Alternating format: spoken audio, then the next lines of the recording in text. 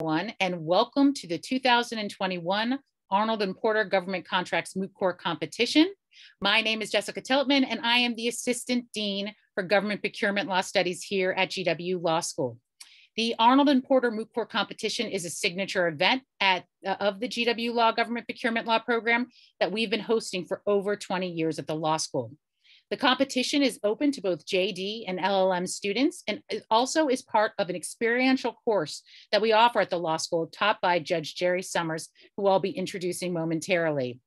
I wanna thank all of the students for their incredibly hard work this semester in their course and to congratulate all of you on how well you did this past weekend during the first and second rounds of the competition. And also a hearty congratulations to the finalists who are here arguing the case today. I wish you the best of luck during today's final round. I would also like to thank Judge Solomson, Smith, and Lester for taking time out of your very busy schedules to join us today. And finally, I want to thank Arnold and Porter for your generous contributions to the law school and longstanding support of this competition and our students. Now, I would like to introduce the two individuals who'll be leading tonight's program. First, I'd like to introduce Judge Jeri Somers. Judge Jeri Somers is the chair of the Civilian Board of Contract Appeals, where she has been a judge since 2007. Judge Somers is also a professorial lecturer in law here at GW Law School, where she not only teaches the moot court class, but also our government contracts advocacy course, as well as judicial lawyering. I don't think I forgot anything there, did I, Judge Somers? No, okay, she teaches a lot of courses at our school. Um, and then I'd also like to introduce her co-host for the evening, Victoria Christoph. I am delighted to introduce our incoming visiting associate professor of law and government procurement law fellow, Victoria Christoph. Uh, prior to joining us here as our brand new program fellow, um, uh, Victoria uh, clerked for Judge Horn at the U.S. Court of Federal Claims, and then for Judge Jimmy uh, Reyna at the U.S. Court of Appeals for the Federal Circuit. So welcome to Victoria, and thank you and Judge Somers for hosting us tonight. Um, with that, I'm going to go turn it over to Judge Somers and uh, Victoria to kick things off for tonight's program. Great, thank you, Jessica. I will be um, starting a PowerPoint presentation.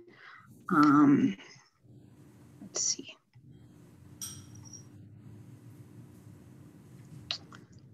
Okay, great. Thank you once again. Um, my name is Victoria Christoph, and welcome to the 2021 Arnold and Porter Government Contracts Moot Court Competition. The case for this year's competition is called Democracy Worldwide versus the United States.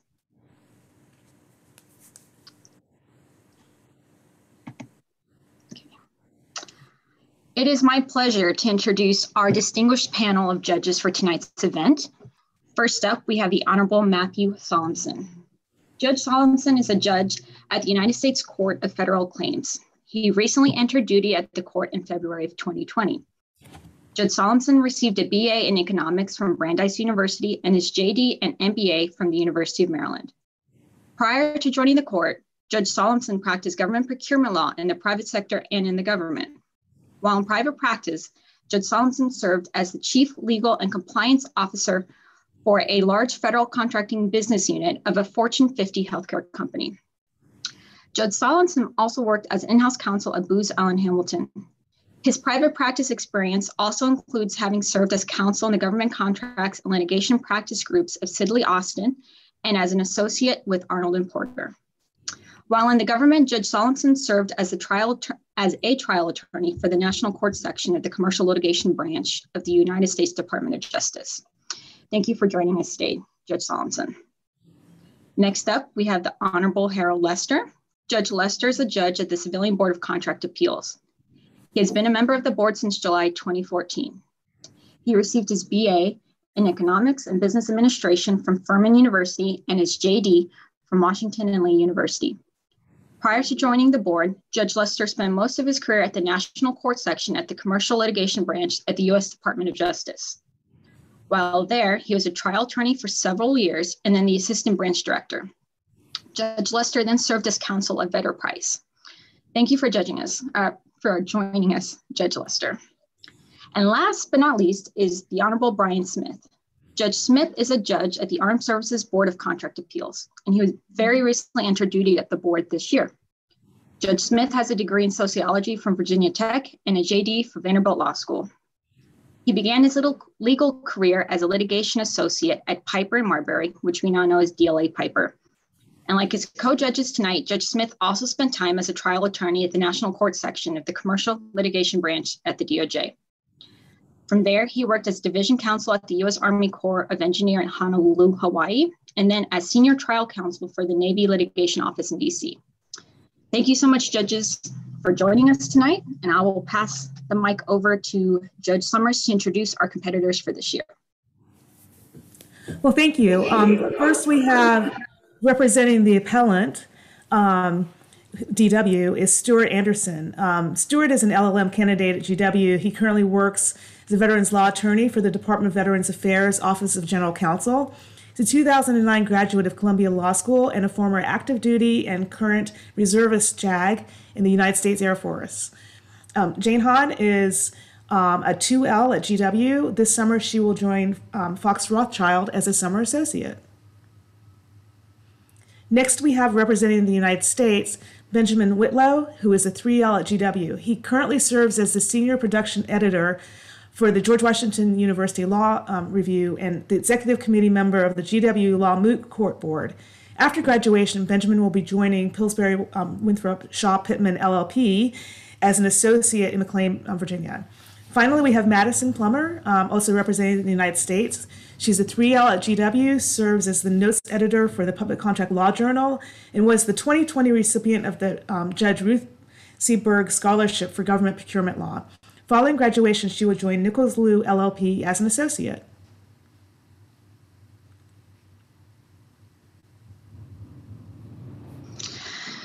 Great, thank you. And before we start tonight's um, oral argument, we just wanted to provide you with a brief summary of the procedural history of the case. Um, once again, the case name is Democracy Worldwide versus the United States.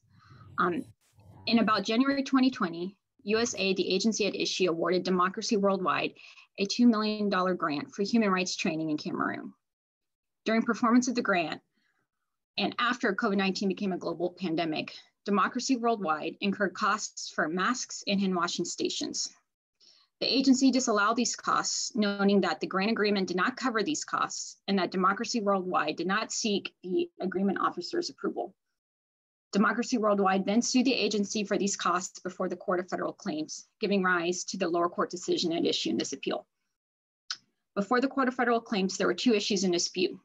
Did Democracy Worldwide um, bring a claim that was within the court's jurisdiction under the Tucker Act? And the second issue was whether it, um, Democracy Worldwide could recover its costs. The lower court determined um, that it did have jurisdiction over the claim, but that Democracy Worldwide could not recover its costs. Um, Democracy Worldwide appealed that decision to the Federal Circuit, which you'll be hearing the oral argument on this on this case in a few moments. Um, Democracy Worldwide will argue that the lower court does have jurisdiction over its claim and that its costs were allowable. In contrast, the government will argue that the lower court did not have jurisdiction and that DW's costs were not allowable. With that, we are excited to get the show started. Good luck to all of our competitors. I will remove this presentation and hand it over to our panel of judges. Thank you.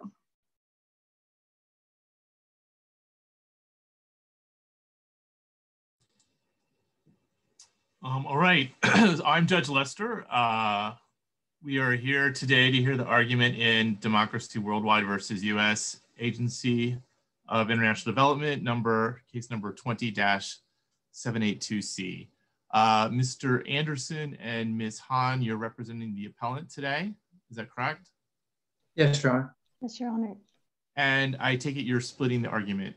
Uh, I, I have to admit I am not positive who's handling which argument. So uh, if you could clear that, clarify that, that would be great. Yes, Your Honor. I'll be handling the jurisdictional question and uh, Ms. Han will do the factual dispute. Right. And Mr. Whitlow and Ms. Plummer? Yes, that's correct. And how will I take it? You're also splitting the argument. Who, who is handling which? Yes, I will be handling the jurisdictional issue, Your Honor. Right. Um, I take it everyone knows how the clock is going to work. Is that right? great. And um, just for clarification, there is a timer and we're taking care of that. That's great. And um, just for my knowledge too, I, I, have to admit, I don't know, is, is there a rebuttal period? Is there time being reserved for that? Or are we just going straight? Uh, Judge Lester, so there will be, um, each participant gets 15 minutes, um, so 30 minutes per side. And then the appellant side has the option of reserving a rebuttal and they should note at the outset if that's what they would like to do. All right, great. Um, so um, I'm here with Judge Smith, Judge Solomon, uh, both of whom I've known for a long time. So um, why don't we go ahead and get started with uh, you, Mr. Anderson, and uh, I hand the floor over to you. May it please the court. Good evening. I'm Stuart Anderson. Together with my co-counsel Jane Han, I represent the appellant, Democracy Worldwide. Uh, may I please reserve two minutes for rebuttal after I argue the jurisdictional question? Certainly. Thank you, Your Honor. The Court of Federal Claims correctly found that it had jurisdiction over this dispute and gave Democracy Worldwide to challenge the, uh, the opportunity to challenge the disallowance of the costs it incurred carrying out USAID's mission of, of civil society development in West Africa under COVID conditions. This decision was correct for three reasons. First, the regulations governing the administration of the grant are a money mandating source of law. Second, the grant itself is a contract and a separate money mandating source of law. And third, Democracy Worldwide seeks money damages, a form of relief that the Court of Federal Claims can provide.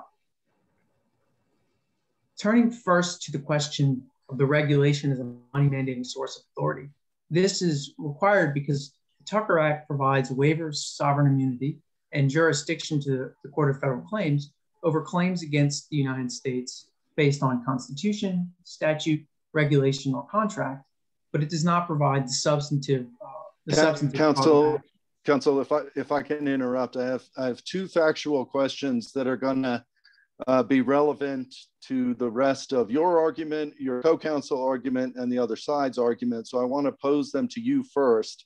Um, first, the, the COVID expenses, my understanding is that they were approximately $10,000. How does that compare to the total expenses um, for the supplies in the two supply items in the budget, or, or does the record not um, give you that information? Uh, Your Honor, the, the, the record only provides the information regarding the overall cost, not the uh, individual cost for the line item supplies. So, so you're you're saying the overall cost, meaning the two million dollar not to exceed figure in the grant? Yes, Your Honor.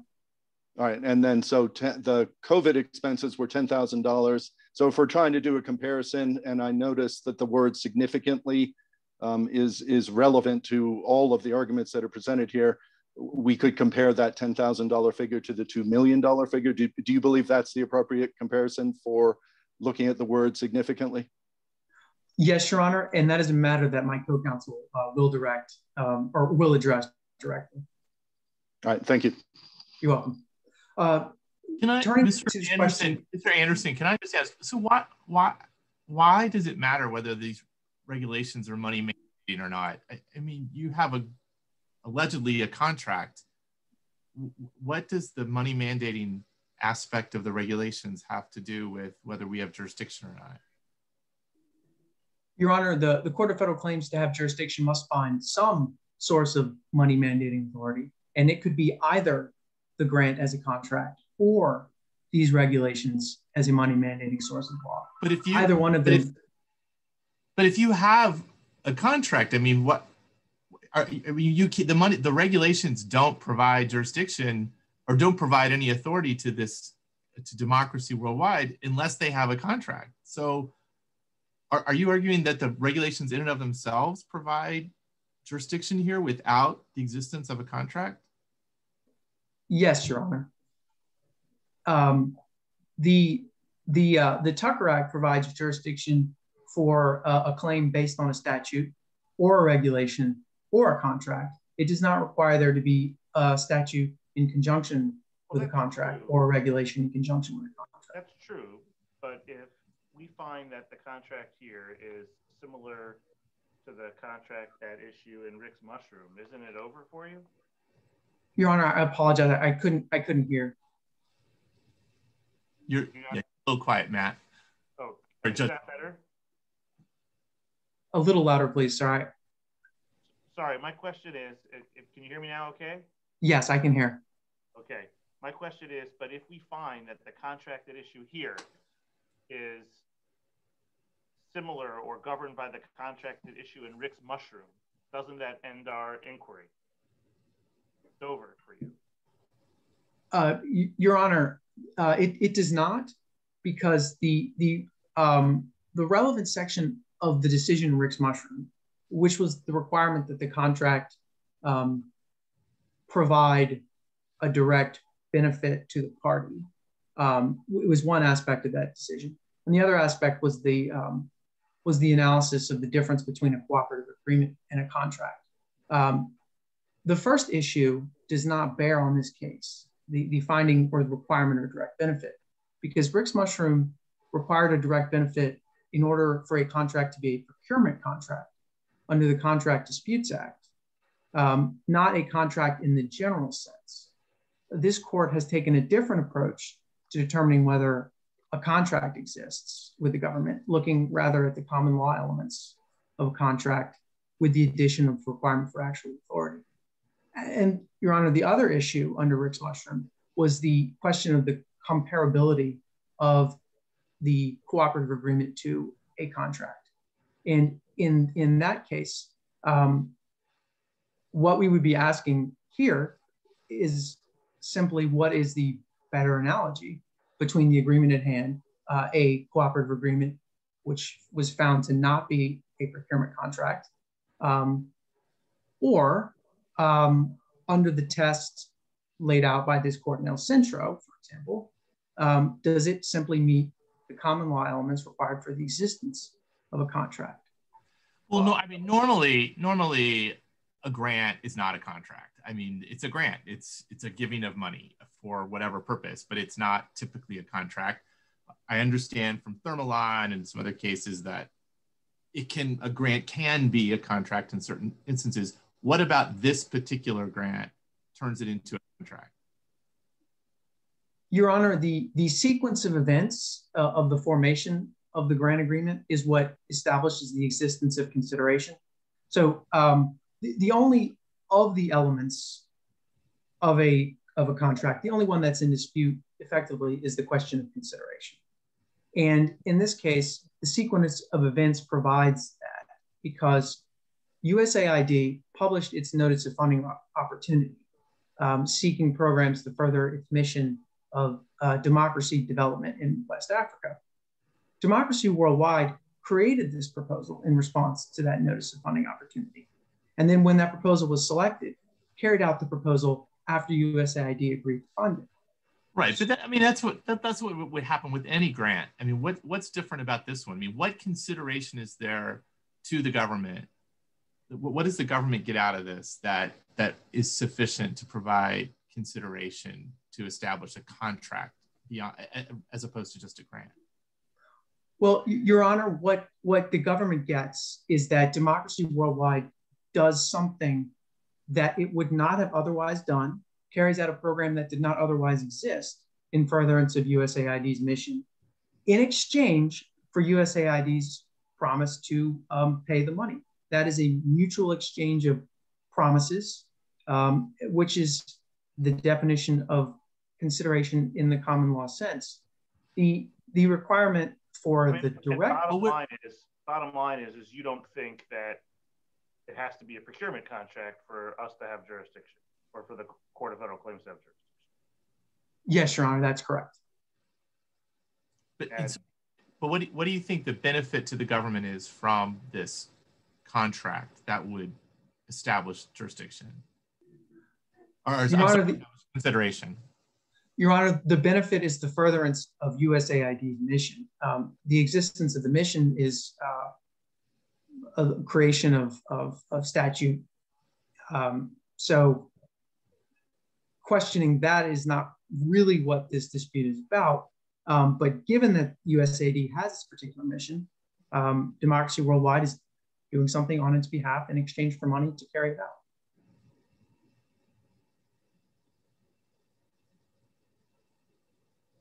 And uh, one of the arguments that was in the brief talked about the one of the arguments was that there's nothing in this contract that provides some substantive right to money damages.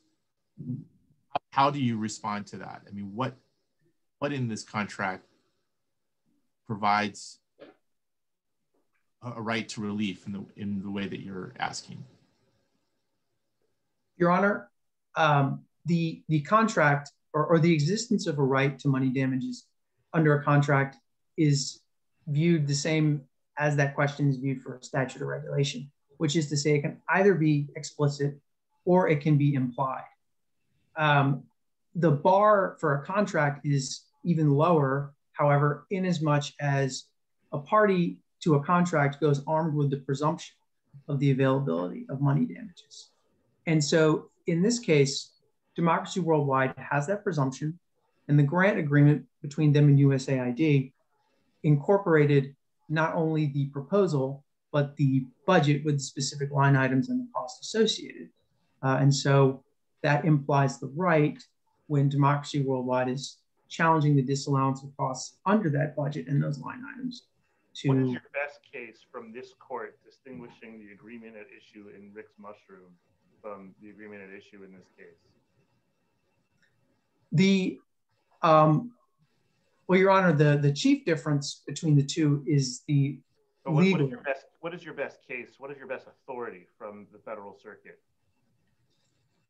Your Honor, the, the best authority to distinguish this case from Rick's Mushroom is, um, I would, I would say Anderson versus United States, but that is because that is a decision by the federal circuit that applies the test, the common law test for the existence of a contract, rather than Rick's Mushroom, where they never actually got to the question of whether it was a contract. They were looking rather at the question of whether it was a procurement contract based on the particular theory raised by the plaintiff appellant in that case.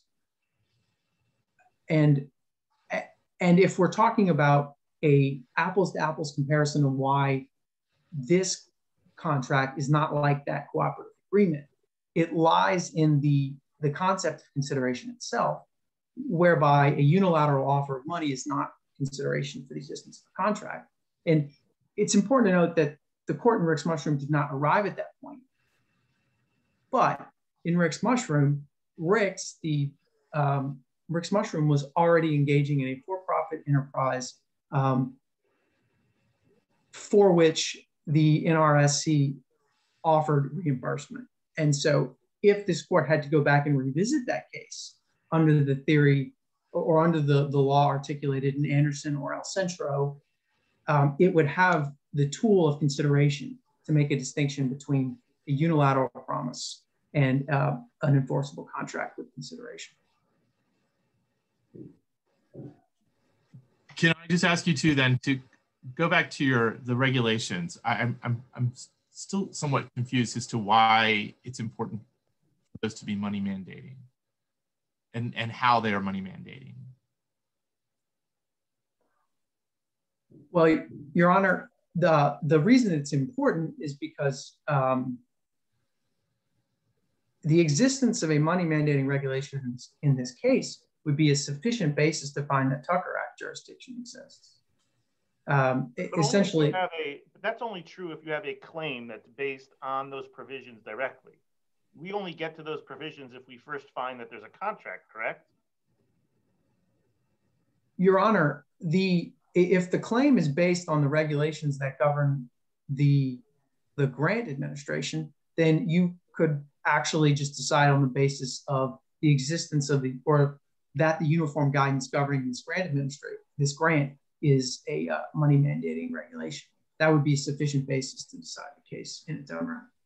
Mr. Anderson, I believe your time is up. Uh, we will, you went just a little bit over, but we will allow you to retain your uh, two minutes of rebuttal. Thank you, Ms. Han?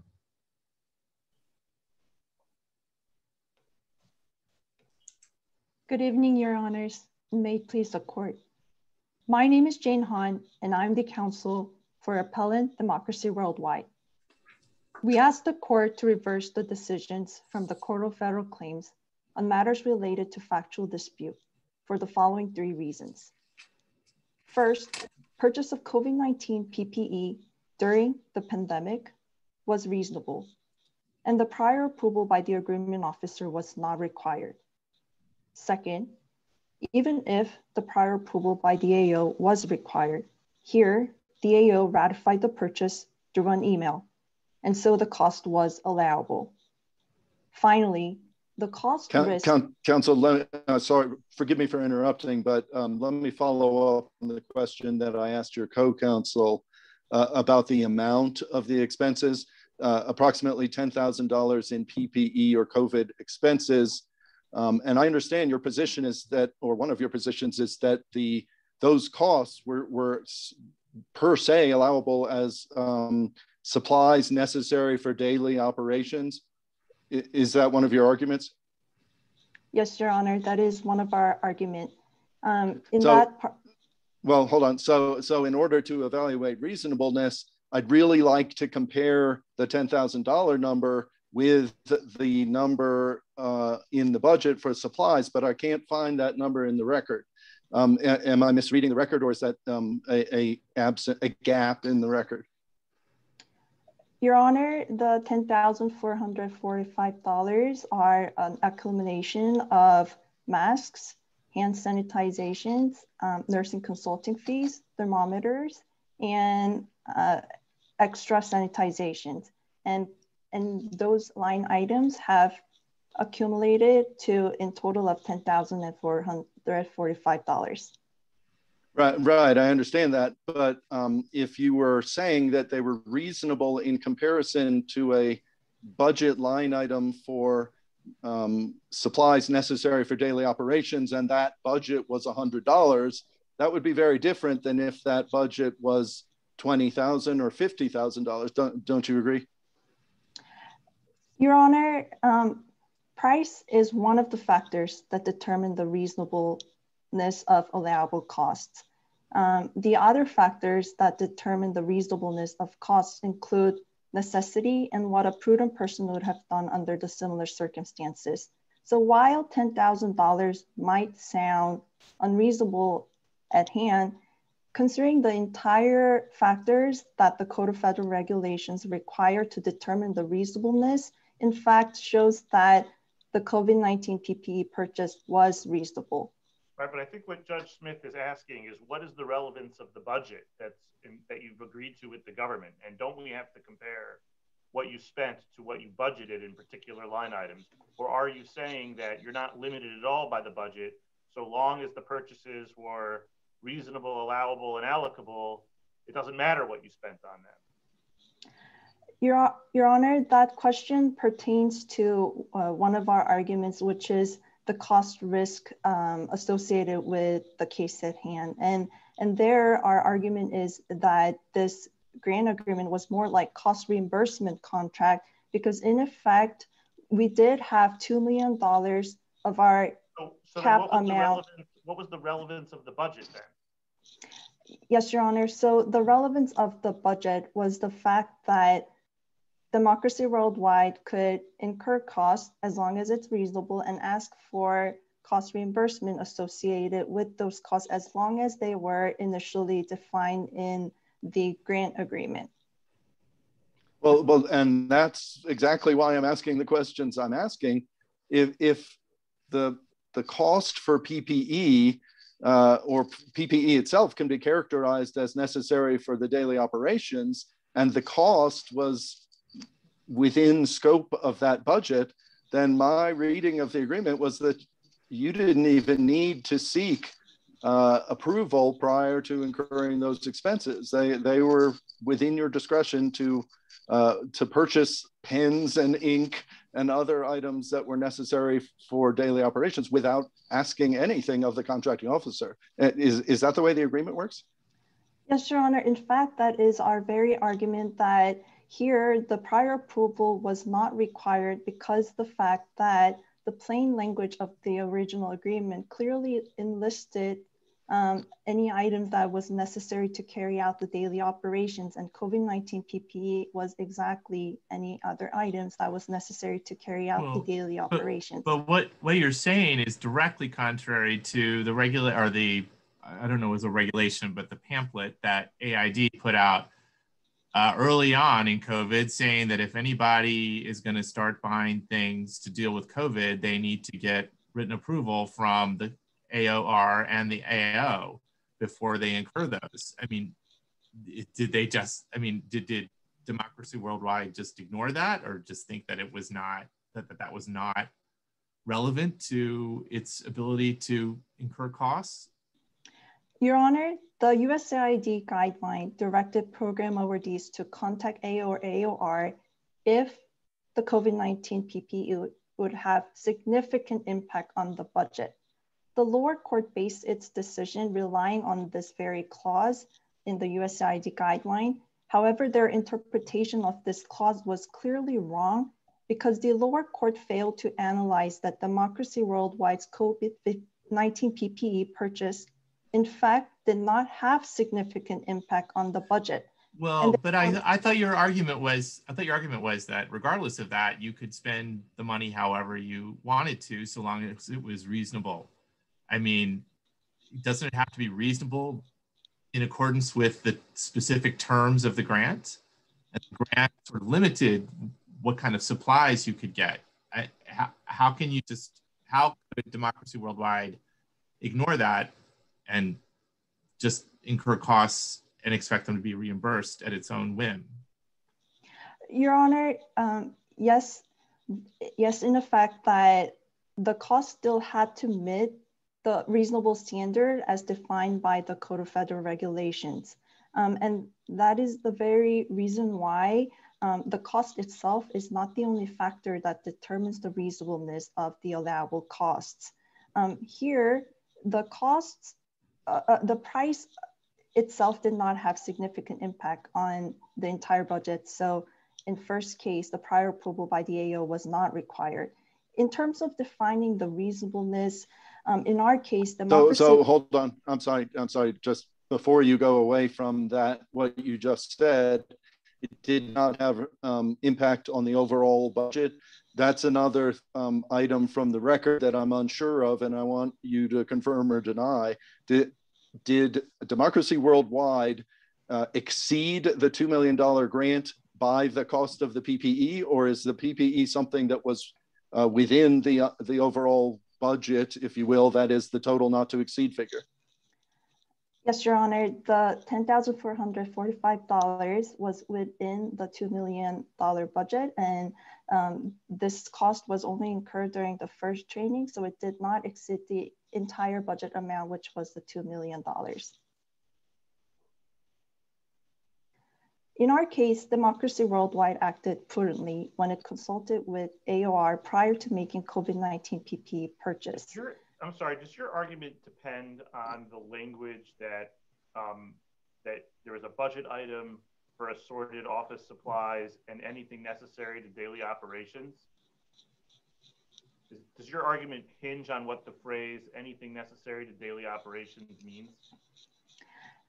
Yes, Your Honor. Um, COVID-19 PPE was precisely anything that was necessary to daily operations. Right, but if, if we disagree with that, do you lose?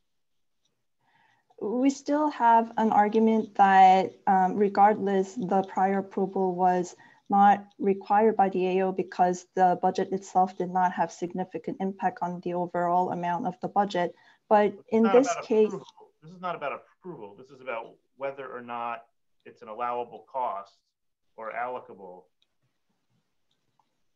Uh, Your Honor, COVID-19 PPE, um, as uh, opposing counsel noted in the brief, um, may only relate to the office supplies even if we do read that anything necessary to the daily operations is only limited to the office supplies, the trade practice can be um, used to interpret the ambiguous language in the contract. And the trade practice during COVID-19 pandemic clearly illustrates that COVID-19 PPE was in fact part of the office supplies because in trade practice, office supply chains carried COVID-19 PPE in their store during the pandemic. Moreover, during the pandemic, it was necessary um, for. But that that didn't that was that true when the grant was awarded. Your Honor, um, when the grant was awarded, the COVID nineteen PP uh, the COVID nineteen pandemic hasn't started, um, but the trade usage and practice is not limited to the time, but it comes was in that, into. I, I, would. I have to ask. Was that an argument that you raised in your brief? Because I don't remember seeing it in there. Uh, no, Your Honor, it wasn't uh, an argument that was the, the trade usage itself was not raised in the argument itself, but the interpretation of anything necessary um, has been raised in the opinion, and um, I'm supplying the trade usage canons to make the argument. What about the canon of, and my Latin is not the best, but uh, of ejusdem generis, that when you have a catch-all phrase at the end, it should be read to be similar to all of the other items in the list? Yes, Your Honor, um, that is in fact part of the argument that the opposing counsel has noted in the brief. Um, and, and so along with the edutumus um, genericis, the trade usage comes into the interpretation along with that. And that is the very reason why anything necessary to daily operations during the pandemic relates to the trade practice during the COVID-19 pandemic. Ms. Han, let me, um, I'm going to ask you to jump to another topic. You have argued in your brief that this was really a cost reimbursement grant. We should interpret this as a cost reimbursement contract. And in your brief, you say the risk of COVID is on the government. Why, why is the risk on the government rather than on democracy worldwide? Your Honor, the cost risk should be allocated to the USAID because the grant award in our case was more like cost reimbursement contract rather than the fixed price contract.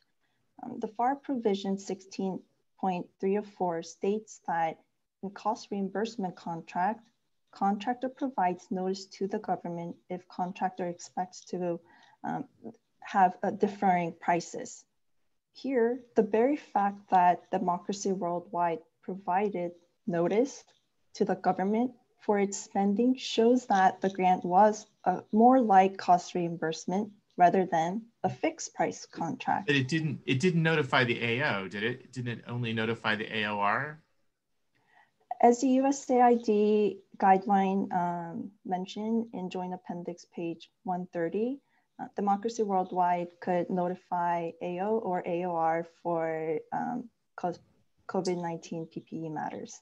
I, I, thought it said AOR and AO rather than just one.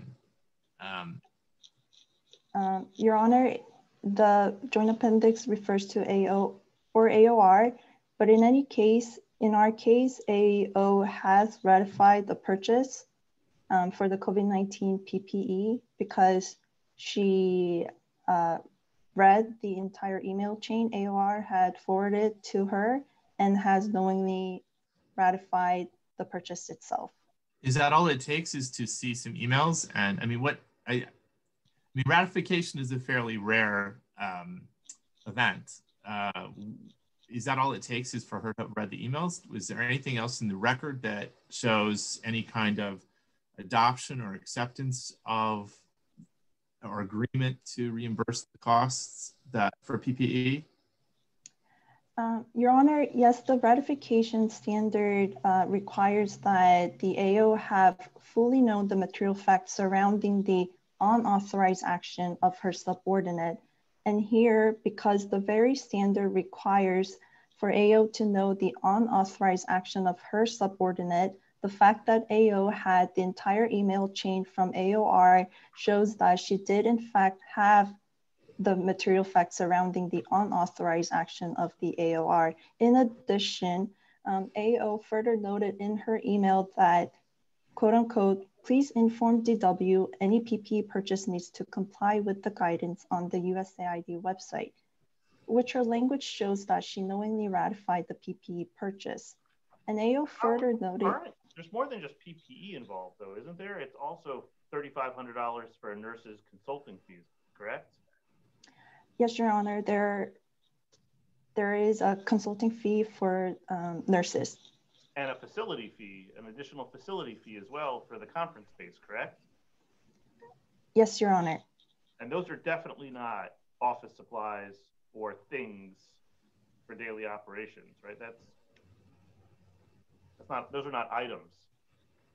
If I may continue, Your Honor. You you uh, you can answer the question and then uh, then. I apologize. Thank you, Your Honor. Um, Your Honor, yes, uh, for COVID-19 PPE, Democracy Worldwide included under the section um, anything necessary to the daily operations. For the nursing consulting fees, Democracy Worldwide included under the consulting fees.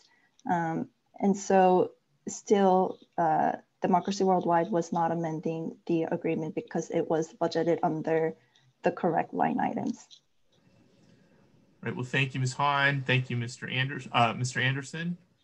Thank uh, you, Your Honor. Now move. We will now move to the uh, appellee. Um, and I think, Ms. Plummer, you said you were addressing the jurisdictional issue. Is that correct? Yes, Your Honor, that's correct. All right. So whenever you are ready. Thank you. Good evening, Your Honors, and may it please the court. My name is Madison Plummer, and I, along with my co-counsel, Benjamin Whitlow, represent the United States Agency for International Development. We respectfully request that this court dismiss appellant's claim for lack of subject matter jurisdiction.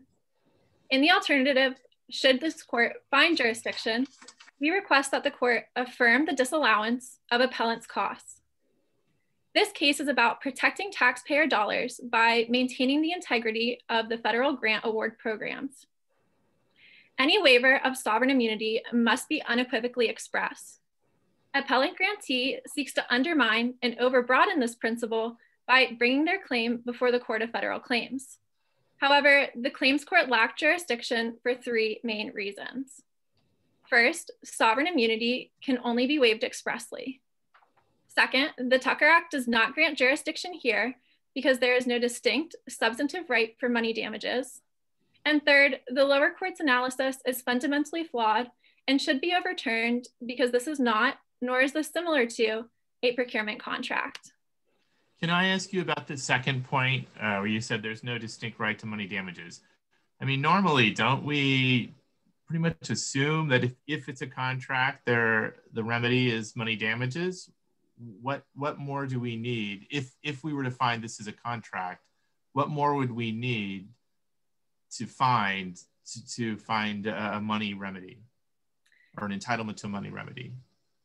Yes, Your Honor. So my answer is twofold. It is the case that if this were a traditional contract, that the presumption would be money damages. However, here, consent to sue under the Tucker Act does not extend to every contract. And the fact that this is a grant agreement shows that there's a different purpose. And contrary to my opposing counsel's argument, there is no direct consideration, which is a determinative element for requiring jurisdiction. Ms. Plummer, in our earlier decision in total medical management, which is a panel decision that predates uh, Rick's mushroom. This court said as follows I'll, I'll read it to you. It says the government also argues that the resource sharing agreements are not contracts because they are not labeled contracts in the regulatory scheme. However, the failure of Congress to use the word contract does not preclude the holding that a binding contract is formed, citing Thermalon with approval, in which the Federal Circuit described that case as holding that a National Science Foundation research grant is a binding contract. Doesn't that end our job here? What, what more is there to say? No, Your Honor. There are cases like in Thermalon where there was a research grant that was found to have the elements of a binding contract for the purposes of Tucker Act jurisdiction. However, as this case has opined in St. Bernard's Parish, Rick's Mushroom, and uh, Anchorage versus the United States, a case before the federal claims, uh, the determinative element again is direct consideration. And because that is lacking here, there is no jurisdictional hook. And again, uh, the determinative element of consideration is necessary for there to be a presumption of damages under the Act and for there again to be a, a money mandating statute. And so moving into the, the grant the grant contract or the grant agreement here and the agreement at issue in Thermalon that our court has previously cited with approval? Your Honor, may you please repeat that question? I missed the first part. What is the distinction between the contract, the grant contract at issue in this case, uh, the one currently before us that you're arguing, and Thermalon, the contract at issue in Thermalon that our court has previously cited with approval? Your Honor, the, the case in Thermalon again cited that there was direct consideration. So there, the benefit to the government was the publication of plaintiff's research results, title to any equipment that the plaintiff had purchased would be turned over to the government, and also a royalty fee license and patent rights of intellectual property. Here, if you look to page 26 of the appendix, the program objective states that this program seeks to strengthen Cameroonian institutions to help Cameroon the direct benefit here is not going back to the federal government, but rather going to the people of Cameroon. And any but, but, benefit, but excuse me, counsel, but it's the it's the United States federal government who decided that it was a good idea to do these things in Cameroon. Isn't the U.S. government essentially buying a service from uh, Democracy Worldwide that it happens to be uh, deploying into Cameroon? No, Your Honor, we respectfully disagree with that analysis and that this is because this is a grant agreement, this is a uh, allocation of funds going to the grant grantee. And so just because that there is money being spent for a program that was generally conceived by USAID. If that's, the case, if that's the case, can the United States sue um, Democracy Worldwide for breach of the grant agreement? Let's say they don't perform. Can the can the United States sue them for breach? Uh, no, Your Honor, I do not believe so. They they could file uh, they could request a reimbursement of costs, um, but not under under different theories and not under breach of contract theories.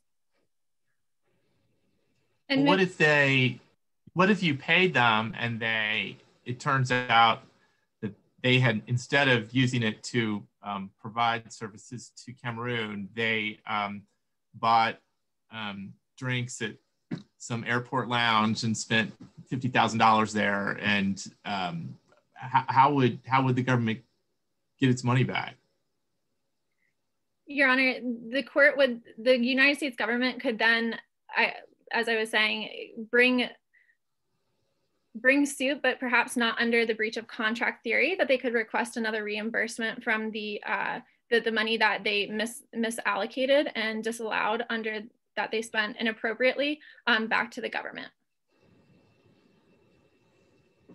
Um, can I, your um, opposing counsel talked about how the uniform requirements regulations are money mandating. Uh, can you address your position on that?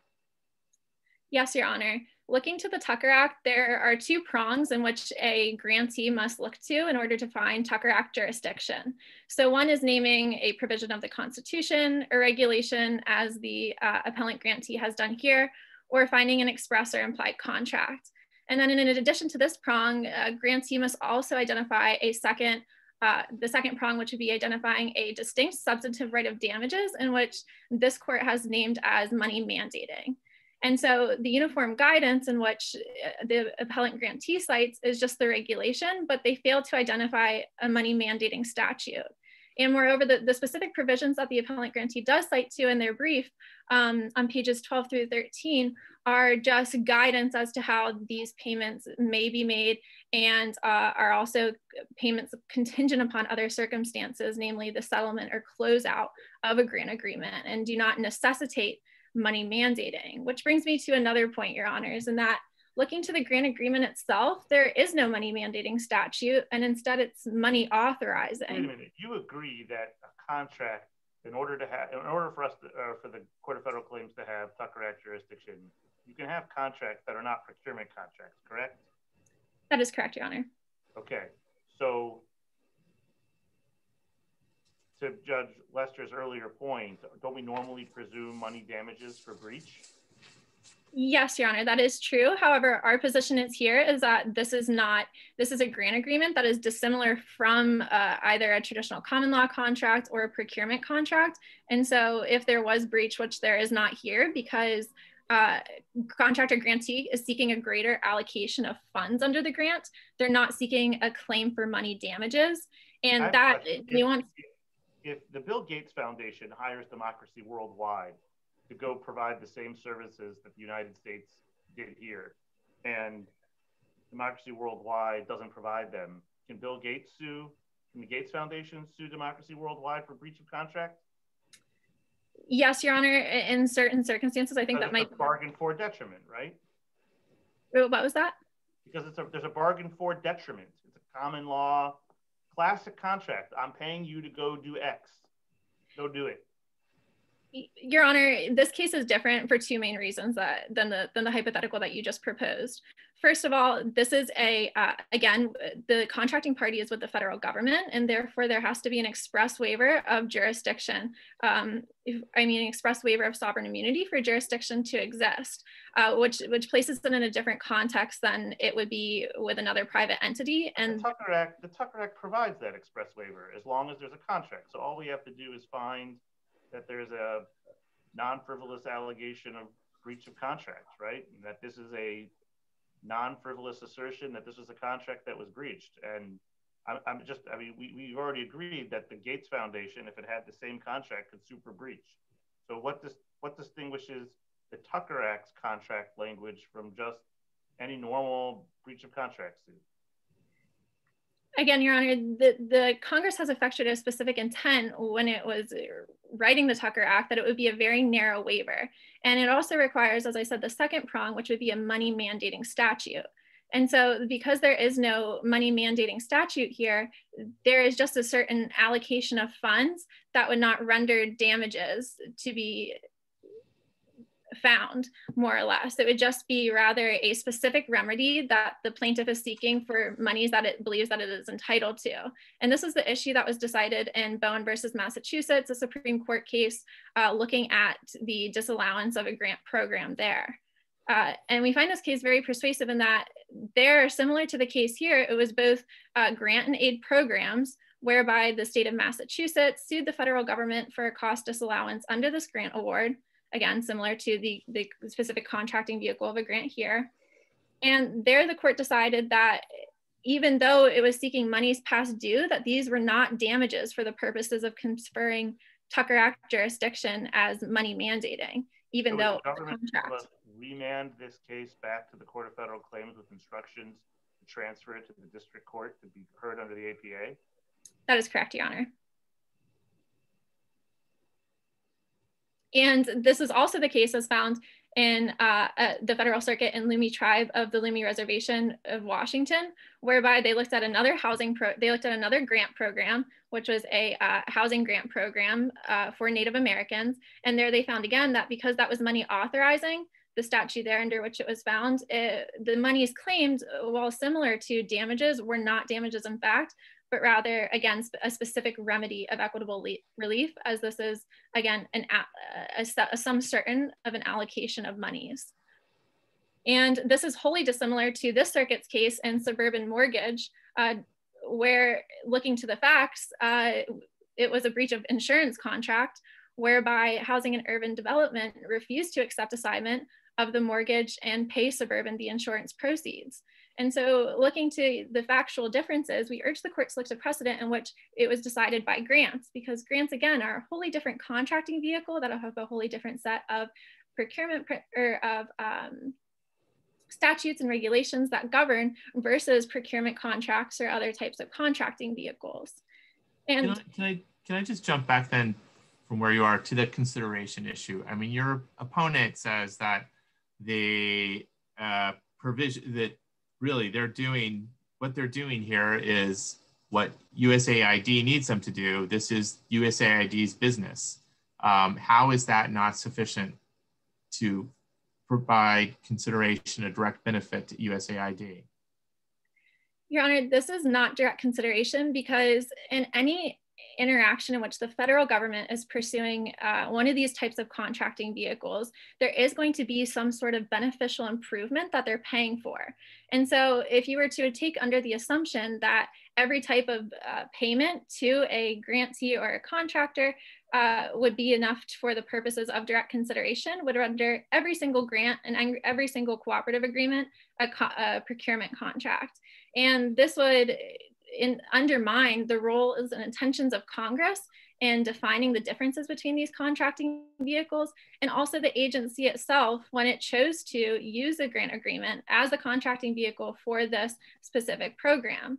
And along those lines, looking to how Congress has defined grant agreements, they specifically cite in the Federal Grants and Cooperative Agreements Act that this is not for the direct benefit of the United States government, and it is not for acquiring property or services. I know, um, but we've already established that you can have a non-procurement contract, like take the WinStar contracts, where there's consideration, but it's not a procurement contract under the statute you just identified. It's not so it doesn't involve, for example, appropriated funds. In other words, there's other ways for contracts to not be procurement contracts, and the Court of Federal Claims still has jurisdiction under the Tucker Act. That's correct, Your Honor. But in this case in particular, again, the direct benefit is not going to the, the United States government. Right. An which analogy. No, which means that it's not a procurement contract. And I agree with you. It's not a procurement contract. But so what? And so because it is, it's not a procurement contract and because so it is a grant agreement, Your Honor, that renders it, when looking to the terms of consideration outside the purposes of Tucker Act jurisdiction, but because there's no consideration, there's no money damages to be claimed, and then there's what's, no money mandating statute. What's wrong with concluding that all grant agreements, or maybe some grant agreements, or maybe just this grant agreement is still a Tucker Act contract? It's not a procurement contract. If it were, we'd be under the CDA in 1491A2. Instead, we're under 1498A1, 1491A1, like we are in WinStar World. What's the difference? Uh, Your Honor, I see my time is up. May I briefly conclude? Uh, yes, you can finish. You can answer the question. Uh, Your Honor, again, looking to the way in which jurisdiction is interpreted, it must be effectuated by, jurisdiction must be defined by law, and it cannot transcend those boundaries of law. And because Congress has not intended there to be uh, a waiver under of sovereign immunity for grants, uh, jurisdiction must be construed narrowly and is not found here. And for the foregoing reasons, again, Your Honors, we respectfully request that this court dismiss appellant's claim for lack of jurisdiction. Thank you. Thank you, Ms. Plummer. Uh, Mr. Whitlow, you are up next. Um, and you're addressing the contract issue, correct? Yes, Your Honor. All right. Uh, so whenever you are ready. Good evening, and may it please the court. My name is Benjamin Whitlow, and I'm here on behalf of the appellee in this case, the United States Agency for International Development, who asked this court affirm the judgment of the Court of Federal Claims which disallowed Democracy Worldwide's cost for PPE, sanitation, and nurses' fees for three main reasons.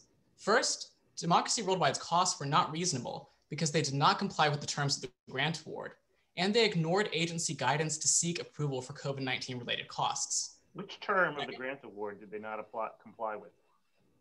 Come again, Your Honor? Which term of the grant award did they not apply, comply with? Specifically, Your Honor, they did not comply with the budget to which they were bound. As Your Honor's discussed in my opposing counsel's argument, the grant award did contain a line item for. Uh, where do we where do we see that the budget is uh, the end all and be all here, the be all and end all? Well, the reason why the budget is so important in this case, Your Honor, is because the terms of the grant award and indeed regulations at 2 CFR Part 200, Section 407 require that if you're going to have a budget revision, you need AO approval. And because Democracies Worldwide's cost for PPE, sanitation, nurses' fees were not contained within their budget. So, so, so hold on, hold on. If you're going to have a budget revision, you need AO approval. I don't disagree with your um, reading of the grant, uh, but that's if you're going to have a budget revision. And it looks from the email traffic like that was an open question all along while, the AOR and the AO were being told that DW was going to buy some PPE, there was no decision made that a budget agreement needed to be uh, amended. Isn't that right? Wasn't the contracting officer's final word on it? Well, we'll see later if we need a budget amendment. Yes, Your Honor, they did tell them that they would see if a budget realignment was needed, but then the burden is on Democracy Worldwide to go out and price out what they needed in the PPE, the sanitation, their nurses' fees, and to come back to the agency saying, okay, these are the costs we're going to have, and then conduct a budget realignment. Well, if that's the case, I'm looking at the particular regulation, which I had already opened up on my screen here in anticipation that you might cite it in 407. Hmm. And 407 says specifically, quote, the absence of prior written approval on any element of cost will not in itself affect the reasonableness or allocability of that element unless prior approval is specifically required for allowability, as described under certain circumstances in the following sections of this part. Is there some section of that part that specifically addresses the claimed costs? Yes, Your Honor. If you, I the specific paragraph escapes me, but it says to revise budgets one in one of the listed areas there. So that is one place where the burden is on democracy worldwide to seek AO approval for a budget revision. It's also within the terms of the grant agreement. Also, as I will discuss, the agency's guidance said if you're going to have need a budget revision for any COVID-19 related cost, you have to reach out to the AO. But didn't but, they? I mean, they did reach out to the AOR they were having exchanges about it. I, I mean, this was, you know, in a very unique circumstance in a very weird time. Why, why should that not be enough in the instances, in the circumstances here? Well, I think for a couple of reasons, Your Honor. I think the first of which, the communications with the AO or AOR rather, on the facts here cannot be an approval because the AOR doesn't have either actual express authority or actual implied authority. And USAID operational policy, chapter three, states that AORs do, do not have the authority to make changes to the budget that affect the terms and conditions, or excuse me, uh, make changes to the budget that affect, or the grant award that affect the terms and conditions. Here, changing let, let, I'm sorry, let me stop you there because, um, again, I, I don't have the email exchange right in front of me, but somebody from the government used the word approved. Who, who was that? Well, the AOR asked the AO, is this approved? To which the AO responded, I think this is on page four of the appendix, says that PPE purchase must comply with the guidance on USAID's website. Part of that was if a budget realignment was required, you had to contact the AO. Okay, am I am I recalling incorrectly something in the record. I thought somebody from the government wrote an email to somebody else and used the word approved, period, in response to a question about whether DW was going to buy PPE. So, am I reading the record wrong, or, or, or can you answer my question? Who in the government used that word? The AOR contacted Democracy Worldwide and said, you can purchase PPE so long as it complies with the guidance on the agency's website. And that goes back to if a budget revision was necessary, and this goes beyond just the PPE, because Democracy Worldwide didn't apprise the government of the nurses' fees, the flat cleaning fee, or any of the other fees that were part of that $10,445. So because they didn't tell that to anybody at the government, specifically not anybody with authority, they cannot now say that they've gotten the approval that they were required. But if they had gone to the AO, I mean, would the AO really have denied this request? Mm-hmm.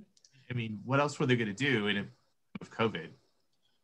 Well, Your Honor, it's not the government's contention that under no circumstances could democracy worldwide have incurred costs of these types. But it's important, especially in a time when the government is incurring unknown costs from several different angles, like a pandemic, that the government have some control over the cost. And the approval process is there for the government to be able to work with the grantee, see what the options are, see what the alternatives are, and come up with the most effective solution.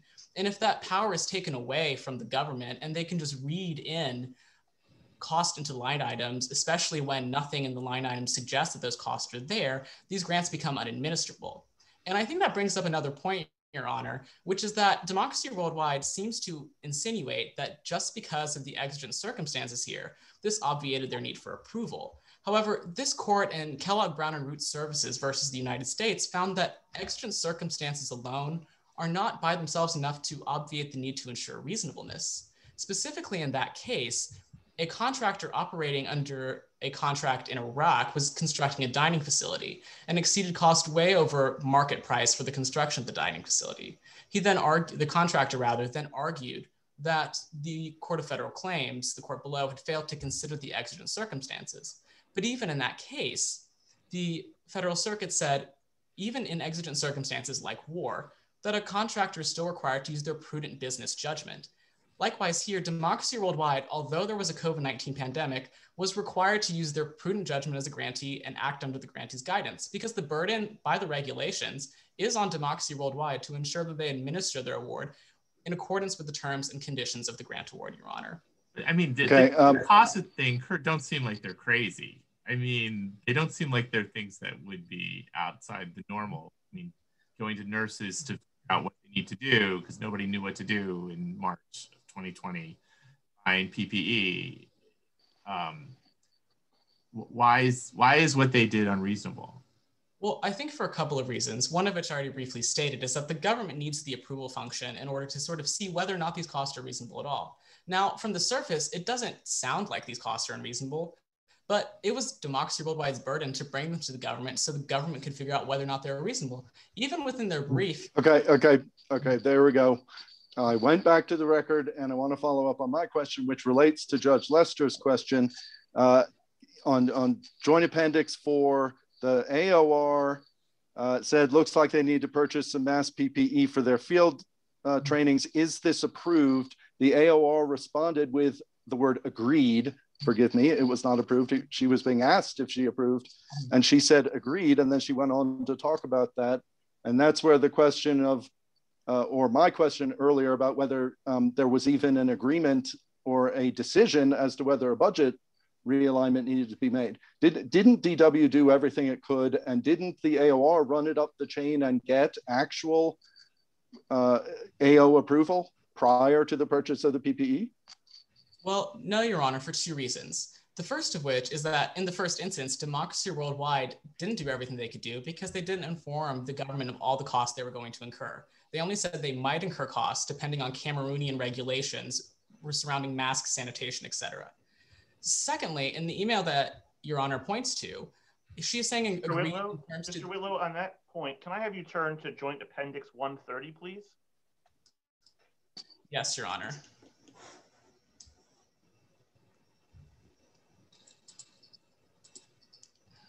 And that should be uh, the FAQs related yes, Your Honor, yes. COVID PPE. Why is the first response from USAID on the top of 130 not pre-approval for all of its for all of its grantees. Um, could you repeat the question, Your Honor? I'm sorry, I missed it. Why is the USAID's response on the top of Joint Appendix 130 not a grant of approval to all of its grantees to, pur to purchase COVID PPE? Uh, yes, Your Honor. Although the government there is saying that these costs are generally allowable, the government can't give blanket guidance to every single grantee to simply purchase as they see fit. Now, read in conjunction with yes, other. But doesn't it show that pre-approval isn't required? No, Your Honor, it doesn't, because other parts of the guidance said before incurring COVID 19 related costs, you need to contact your AO or AOR or AO or AOR. Um, other parts of the guidance said if you need a revision, you need to get the AO's approval. So while these costs might, in a general sense, be reasonable, you still need to contact the government so they can ascertain the facts to determine if they are reasonable. Can you address the Can you address the argument from your opposing counsel that the AO ratified the um, tier? Yes, Your Honor. And this is actually my second point, which is that the AO did not ratify. So, in order to show ratification, the appellant has to show two things, both full knowledge of material facts by the AO and that she either acquiesced or adopted. Now, courts have found, specifically in Leonard versus United States and Strickland versus United States, that full knowledge requires a detailed factual knowledge of the situation, more than just a general knowledge. So for instance, in Strickland versus the United States, their contractor could not show that a contracting officer had full knowledge of the material facts about a subcontractor even though the contracting officer received weekly reports that one, the contractor or that the subcontractor was removing lead paint from a ship, that they were incurring additional cost, and that they were negotiating with the contractor for those additional costs. All the agreement officer was aware of here was that Democracy Worldwide might incur some cost depending on Cameroon's regulations. But Democracy Worldwide never apprised the, either the AOR or the AO of any specifics of those costs. For instance, what the line items were, how much they cost, or what the alternatives were. So there could not have been ratification because, quite simply, she did not possess full knowledge of the material facts in this instance. Further, well, I mean, didn't she know? She know knew generally what they were doing, at least on the PPE part, didn't she? Yes, Your Honor, but she still didn't have any idea about how much the PPE was going to cost or what quantity they were going to purchase at. And again, the what does ratification take? What, I mean, what is there a for that? Well, Your Honor, I think the or the CBCA case of Mission Support Alliance here is instructive. So in that case, the contracting officer or the contractor tried to argue that it needed um, reimbursement for its insurance cost under that contract. However, because they did not give the contracting officer any of the information relating to the type of insurance it was purchasing, the cost of the premiums, or how it benefited the program, there could be no approval. So likewise here, Democracy Worldwide, based on the record, had 17 days between when they knew that these costs might be possible to when they actually had to start incurring these costs, but they didn't do anything in that interim time to prepare to price these out or inform the government of any of these specific costs. And as to my final point, Your Honor, the fixed price nature of this award shifted the burden from the government to Democracy Worldwide. The case of in the case of Pernix Serka joint venture, a contractor operating under a firm fixed price contract in that case, the CBCA disallowed their costs because under a firm fixed price contract, the burden is shifted. Uh, counsel, let me interrupt you here. Um, I'm having trouble swallowing the whole firm fixed price argument. The, the, this was a grant of $2 million with specific budget items that had to be uh, stayed within, as you're arguing very forcefully, um, or if those particular items were going to be changed, specific AO approval had to be obtained. So every dollar, it seems, of that $2 million was in, in the hands, if you will, of the government. And it, it, was not a here, go do things, and here's your $2 million, and, and and we're walking away and you have the risk. It was, we're going to interact with you during the course of this entire uh, grant Hmm. and talk about budget and we're going to amend the budget if we need to, et cetera, et cetera. That sounds a lot like a cost uh, plus contract. Wouldn't you agree? So, so where is the risk uh, that DW um, assumed uh, or, the, or even where is a fixed price in this at all? Well, Your Honor, on page 22 of the appendix, it actually states that Democracy Worldwide is to receive a fixed $2 million sum for this award. Also, the agency there specifically disclaims responsibility for any amount over that award. This is, and the mechanics are quite different from a cost reimbursement contract, as long as the costs are within the terms of the budget. For instance, the government does not argue if, if Democracy Worldwide wants to go out and buy a bunch of pens, that's perfectly reasonable because it's in their budget. So it's quite different from a cost reimbursement contract in that way. And it serves the same purpose to encourage grantees to control costs. Um, they don't get they don't get the two million dollars unless they only get the monies that they have paid mm-hmm. reimbursed, right? Which may not be $2 million.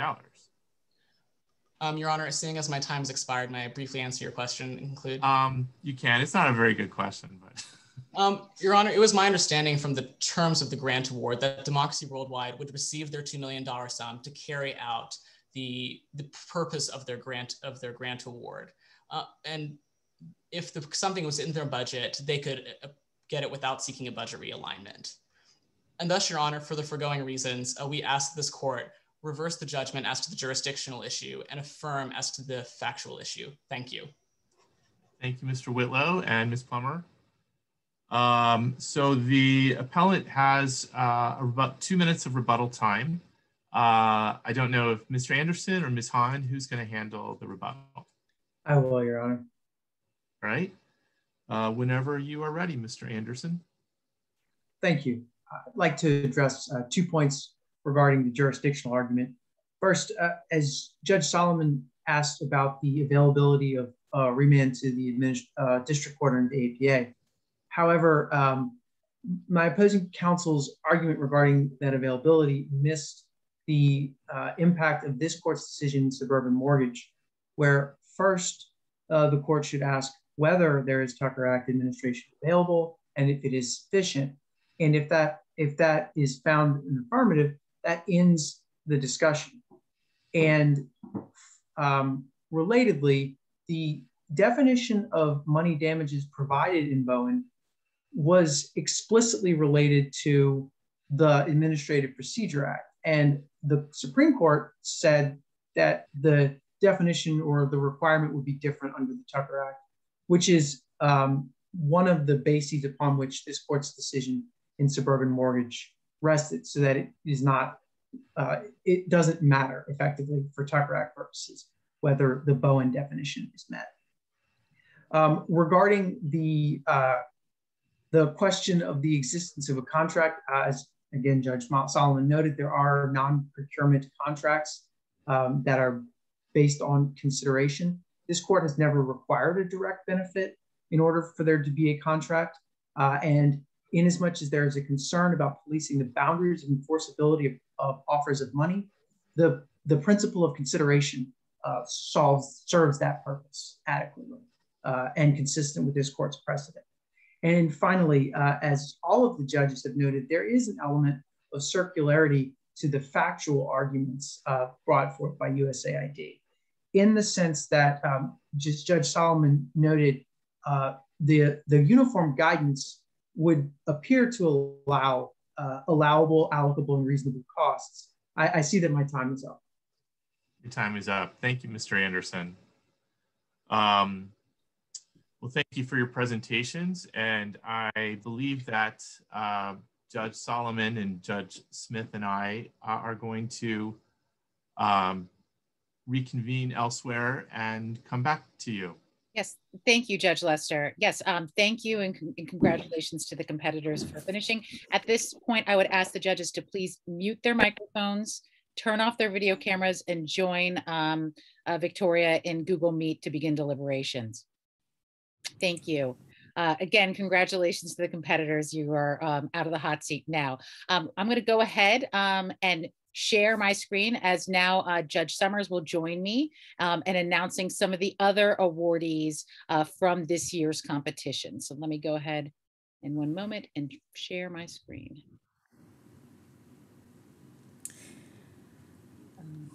Thank you. And first, um, before we an announce the winners, we will be uh, talking about some of the people who were involved in this competition. So, with that next slide, we'll be talking about the person who wrote the, the um, problem.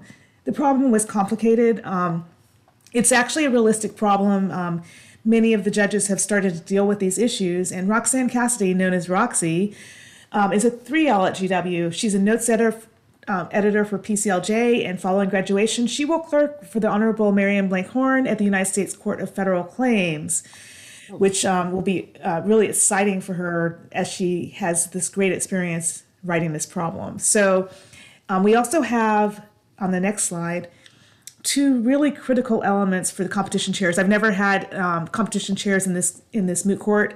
So it's very helpful to have them. Um, first, Amanda McDowell, who was a finalist in last year's competition, she has served on the Moot Court Board, the ADR Board, and is the outgoing editor in chief the Public Contract Law Journal. Um, upon graduation, she will join Crowell and Moring as an associate. I don't know how either of them do this, they never sleep. Um, Morgan um, Huston, um, Houston competed in last year's competition. She has served as the articles um, editor on the Public Contract Law Journal and the secretary of the Government Contracts Student Association. And upon graduation, she will clerk at the Civilian Board of Contract Appeals, and we cannot wait to have her. So for the best contractor brief, we have Stuart Anderson and Jane Han. Congratulations. That's great. Congratulations. One of the downsides to doing this over the Zoom uh, webinar licenses, we can't see an audience reaction, but I know that all of you out there uh, that are watching this are cheering loudly in your room. So congratulations. Yes, and thank you too. I noticed I'm um, going through the list of attendees. Not only do we have our classmates, but we also have a lot of former um, moot court competitors from the um, previous classes and also um, some lawyers, partners, and friends who are also watching. So thank you for that as well. So for the next award, we have the best government brief, which is Benjamin Whitlow and Madison Plummer. So congratulations. That's you know a double plus for you guys. Um, such a great job and really pleased. And let me say for the rating of the briefs, we actually had the former um, editors in chief for the PCLJ who volunteered their time to um, do a really close edit and really close weighing of these briefs. So I feel confident that um, you did a really good job because that's a very tough crowd. So next we have best overall competitor.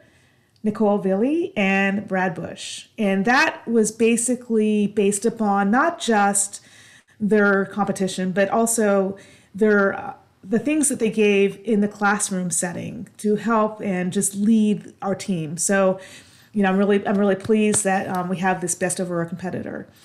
And then our next group is best oral advocate. Brittany Carapas. So congratulations, Brittany. That was really an awesome job. And then next we have excellence in oral advocacy. And this is um, a little bit different. This is the excellence shown based upon the scores that were received in the in the uh, previous round. So Emily Friedman and Nicholas um, Feldstern, um, congratulations on your excellence as recognized by the judges. And excellence in written advocacy, we have two other teams. We have Alex Shepard, Ustina Abraham, um, and then we also have Catherine Kyoto and um, El, um, Elaine, Elena Hoffman, whose name I endlessly mispronounce. And I apologize. Congratulations on the Excellence Award. So thank you. We're just going to be waiting here now for the judges to come back. Um, sometimes we have music. Um, I don't have the music to provide. I, so can, I can sing for you if you'd like. No, I can. I can. So I'll talk about the um, the genesis of this moot court competition. So for years, the competition was like a traditional competition where um, the students signed up and then they just were given a date. They did um, prep on their own and they just competed. And at times, this competition had um, more than 30 teams. Um, you know, at the very beginning part. So when the um, law school decided to try an experiential class, this was the one that was chosen. So, what that means is that the students actually learn how to do things by practice. They actually experience um, the learning process that they would have um, in person. So, instead of just competing, they get to experience experts who come in and talk to them about writing briefs and about how to present and just about working with a teammate and so I think that that was a really exciting part of this program. This is the fourth year of the competition, and every year it's a little bit different, a little bit um, challenging because the, the the I don't know if you know, but the problems that are written are cha- they change every year. So um, sometimes it's a prior student who writes it. Um, last year it was a former student who is now at a at Arnold and Porter. So those are the things that they experience with that. Um, we also have, uh, at the beginning, we have uh, Mary Kate, who is from the law school, and she trains them on how to do research, which, you know, they've, they've had basic training on that, but this is a little bit of a step up. We also do um, early on a personality test, just so they can see where they lie in personality skills and how to work best with their partner and um, learn how to balance out their normal tendencies versus the tendencies of their partner. So those types of things are the foundations of the beginning of the program. Then after that, we typically have a discussion about how to write. Um, we break out into breakout sessions um, where they are talking with the people on their same side so they can figure out what some of the arguments are. And what was most fascinating about this is that even though they have the same problem and they have the same approach, what you find is that the argument approaches are, are very different. The way that they see the problem leads to different um, types of things that they'll focus on. So, you know, we, we saw what these two teams did. Other teams did different approaches, and I and it was really interesting. Jessica? Um, so I also um, thank you for giving that nice overview of our class. It, it, does make our competition unique among competitions in the law school. The fact that this is an experiential course um, and that they do receive experiential credit, which is a requirement by the American Bar Association. I will say though, like I say to all students, uh, even though we award two credits compared to the one that students typically receive, moot courts are deceivingly difficult. You do a lot of work for very little credit. So, so kudos to the teams that work so hard this entire semester uh, to put in the time and effort to to go to class every week, you know, participate in class, class work very hard and prepare so well for these uh, oral uh, arguments. Let me say one more thing. Um, as I said at the outset, uh, we are so grateful to the generous contributions of and Porter, who, is, who has been our partner um, in running this competition. Um, all of our, awardees will be receiving cash prizes as part of uh, their participation. So um, awardees that are that have been named tonight, um, including um, the finalists will be receiving cash prizes. I will not be announcing the amounts, uh, but I will just say you will be receiving cash prizes. Um, one other thing I want to do is thank everybody for their uh, uh, adaptation to this virtual setting. It's incredibly challenging on some levels. Uh, for the organizers, it was a little easier for us. We didn't have to run room to room over the weekend, um, making sure everyone was settled. But uh, you know, technical issues or other sorts of things um, can make it challenging. As you can see, the the amount of time and effort it went into having to figure out how the judges could deliberate quietly without people hearing took some time and testing, um, but hopefully we will be able to readmit them when they tell us the finalists. Um, I will say this because um, uh, the our current uh, finalists and the finalists from last year were not able to celebrate properly. As many of you know from uh, past competitions, Arnold and Porter usually sponsors a, a beautiful reception in honor mm-hmm. of our finalists. Uh, because we've been, been unable to have those receptions, we will be honoring last year's finalists and this year's finalists um, in spring of, of 2022 when I'm certain we can be back together in a group. Uh, I don't think we'll be limited by size hopefully by then, um, uh, or hopefully not masked. Um, so my hope is to honor you separately and honor your your successes um, in a separate event coming up. So so more information will be provided to you and of course last year's finalists as well um, for this. So I am just being told from Victoria in the chat. Oh, here come the judges. So let's wait till they all join us and hopefully we will get Judge Smith back online. Um, and I see Victoria's here.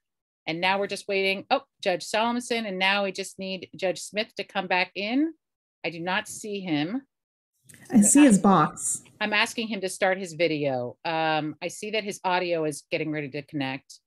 Up, oh, he's back. And with that, um, I'm going to turn it over to the judges uh, to provide their feedback and announce the winners. Thank you.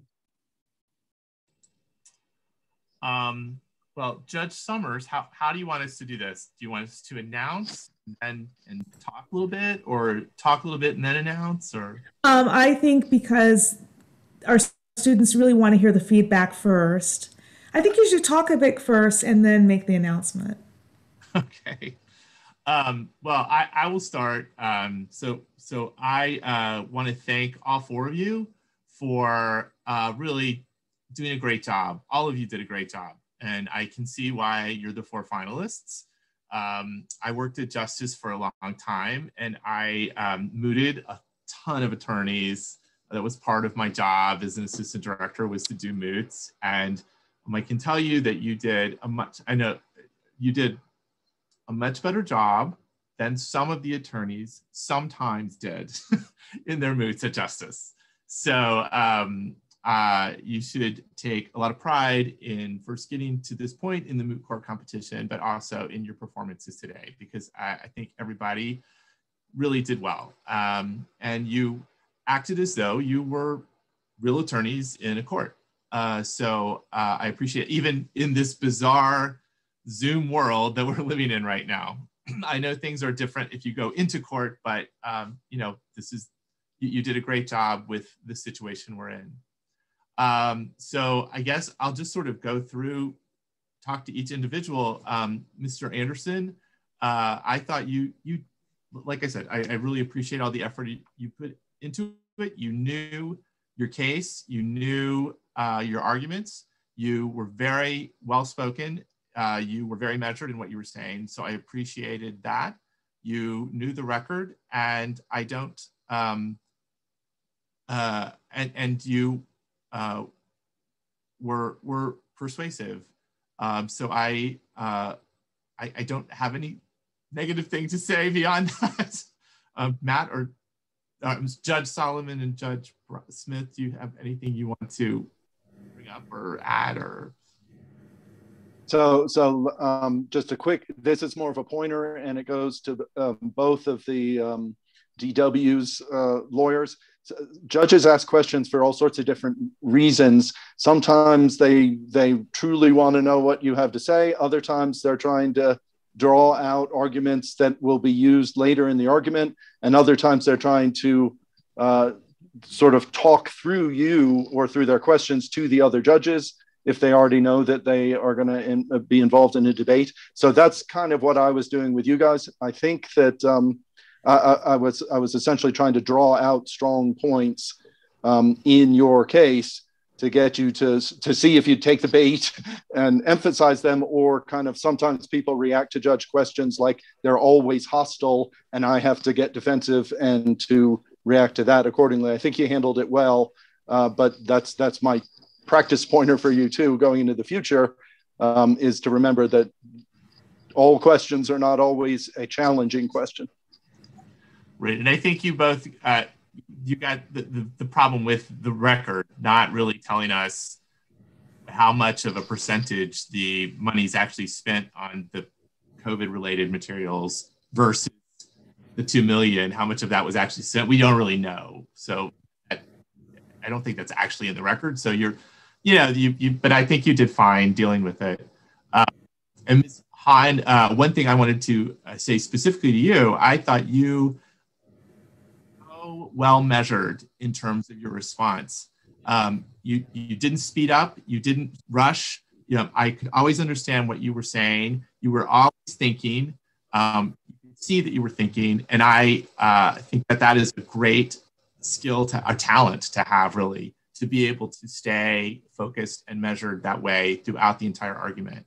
So that, that was uh, one point I actually really noted um, and and um, not not everyone has that uh, skill, so or talent. I don't know which one. Maybe it's a bit of both. Um, I'm I'm just going to finish mine, and I'm going to let you guys just jump in with general comments if you want. Ms. Plummer, I um, also again thought you did a great job. One thing that I really liked that you did, and I noted this, I wrote this down as you did it because I thought this is something that a lot of people don't in court. Judge Solomson, I can't ask Solomson, I can't remember what the question was, but it was something not favorable to your case. And um, you said, yes, Your Honor. You acknowledged it. You just admitted he's right. So many people in court don't do that. They will dance around it. They'll say, you know, isn't it true that your client, you know, stole this money from wherever?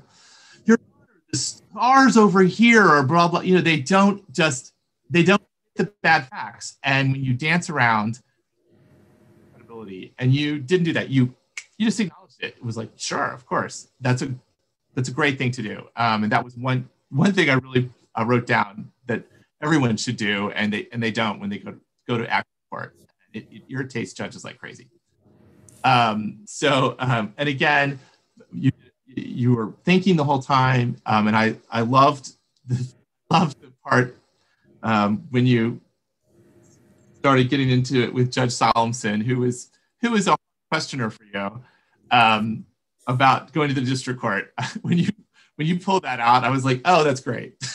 so I liked your preparation for that. Finally, Mr. Whitlow, a great job. Um, you're very, very articulate. Uh, I, I, don't want to say you're a smooth talker, but you're you're very good on your feet.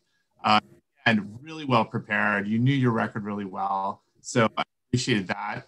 Um, there was one point uh, when I was asking you about ratification, I thought you were getting a little excited. So you started speeding up uh, a little bit too much. So that would be one thing just to you don't, you don't get too uh, worked up and that you stay measured. But it also um, identifies the fact that you're passionate about what you're talking about. So again, I thought each of you did a great job. So I, I appreciate all the time you put into it. Matt, Brian, do you want to add anything else before we go to the uh, end? Yeah, yeah. Sure, just just briefly and similar to what I told the um, appellants, uh, I saved the harder questions for the government in this situation. And that is, of course, the, the raw test of how well you respond to the negative aspects of your case and to the arguments that aren't your best. And, and I think both of you handled yourselves very well. And I agree with Judge Lester about um, Mr. Whitlow. You're very smooth on your feet and very good for uh, good at responding to questions, both easy and difficult. Yeah, I, I, admit I had a little bit of an axe to grind on the jurisdictional issue, and so uh, Ms. Plummer got the brunt of it, but she did a great job and rolled with the very difficult questions. I'm actually really curious to know whether you were prepared to concede the transfer question or you just did that in advance. Either way, it was very impressive. Um, whether you thought about it which is something I don't know that I would have thought about in your position or whether you just decided on the spot. Um, in either case, uh, Judge Lester's point, it was very well done, um, and um, and you, I just thought you did a great job. Um, and I thought all to echo Judge Lester, all, all the competitors uh, were, were are quite good, well ahead of their educational years, and um, you know either the plaintiff's bar or the Justice Department someday will be lucky to have you. Um, so with that, um, have any questions for us? No, I, am not going to ask that. we'll be here all day. So,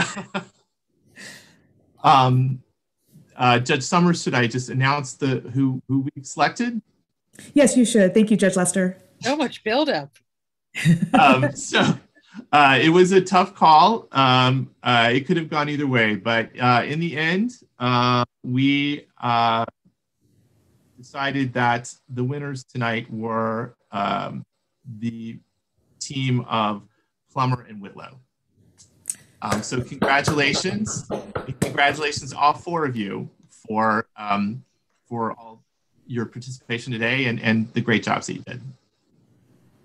Fantastic job, everyone. Thank you so much. And thank you to the judges for all the hard work and the good commentary afterwards was really, really great. Yeah, I think um, I know we have some 1Ls that are, are watching tonight too, and I, they're getting ready to prepare for their very first moot court arguments. So, so I'm sure that those comments are appreciated. Thank you for your time um, and, and energy. Thank you to everyone who helped make this competition possible. Judge Somers, uh, her team, uh, the course, the, the author, the people that you know chaired the competition, uh, and uh, again the judges, and of course Arnold and Porter, and then finally to our finalists, thank you uh, for all your hard work and effort, and congratulations to you, all the finalists. Oh, oh, yes, please. I was just saying congratulations, and also congratulations to you, Dean Tillipman, and also to Victoria, because without you guys pulling it together, we would have been doing it, I don't know where.